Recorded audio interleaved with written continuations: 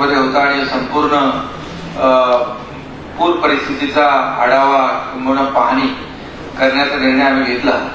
परंतु त्या भागामध्ये प्रचंड पाऊस असल्यामुळे तिकडे आम्हाला जाता आलं नाही. पण आम्ही येताना आपली वैनगंगा नदी आणि इतर जे काही इकडे या भागामध्ये पाणी पावसाचं जे साचलं होतं थांबलं होतं त्या ठिकाणी आम्ही पाहत पाहत इथपर्यंत आलो. तर एकंदरीत आपली चर्चा जवळपास सर्वच तयारीचा आढावा देखील आपण घेतलेला आहे.